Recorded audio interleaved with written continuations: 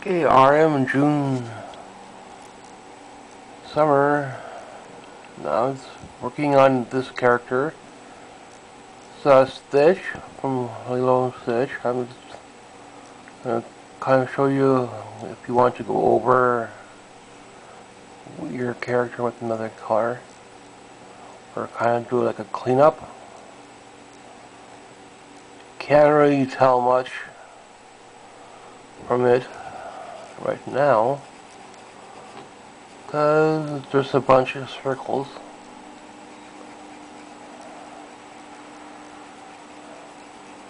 But it takes a bit of time to do your underdrawing. I'll go over. And it also takes quite a lot of time to find brushes. If you're going to be using digital. You might want to look into getting your own brushes. Uh, I don't use a Wacom tablet that you could touch with. It's a basic Wacom tablet to draw with.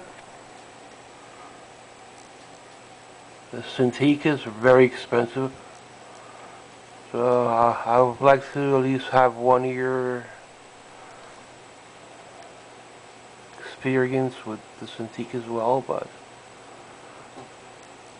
you get enough experience built up with a good tablet. And then if you have the money, go in and buy your Cintiq.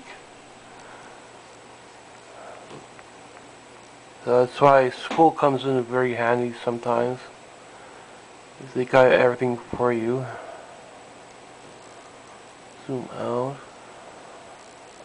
So everything works. There's my little guy, little stitch guy. Except for the rotation. So you could go in really blacking everything out, but it needs to be shaded. I'm just basically giving the idea of what I'm working on today, the end of the month, June, June, June, end of June.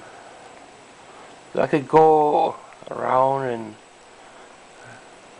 darken out the whole character, zoom out, but yeah, that looks pretty good to me. So he is kind of bluish in a character.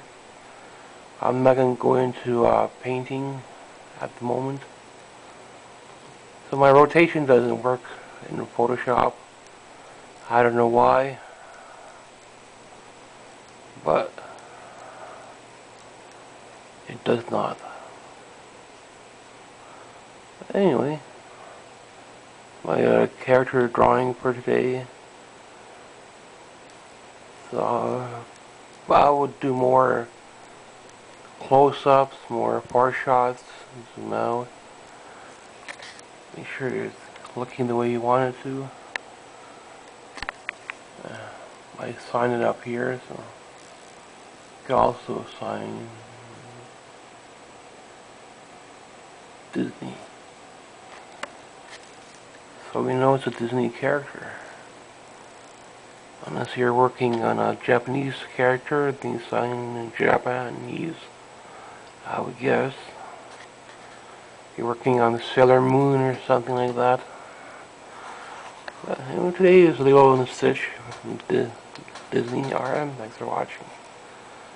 So I have the drawing pre-drawn because that's how I draw. I don't start from a fresh. I start from a sketch and build onto that.